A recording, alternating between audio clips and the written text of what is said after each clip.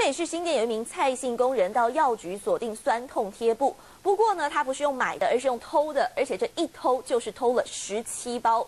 最后被逮的他呢，被抓进了警局，向警方说，实在是因为工地工作真的是太酸痛了，所以才会失心疯偷了十七包的酸痛贴布，让警方是当场傻眼。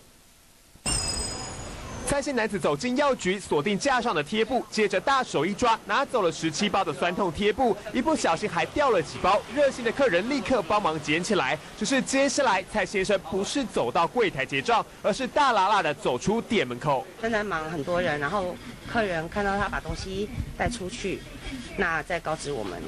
店员赶紧追出去，要追回这个贴布大盗。失风被逮的蔡先生一脸淡定，乖乖的回到药局，把十七包的贴布通通给吐出来。不过他说他会这么做，可是有原因的。应该说，因为他工作的原因，所以说可能酸痛，所以说他想要临时起意，想要去偷这一些酸痛药膏来贴这样子。在工地打工的蔡先生似乎对药品情有独钟，先前也曾经偷过生发水。不过毕竟贼心该败，蔡先生这一次可多了条，窃盗罪嫌。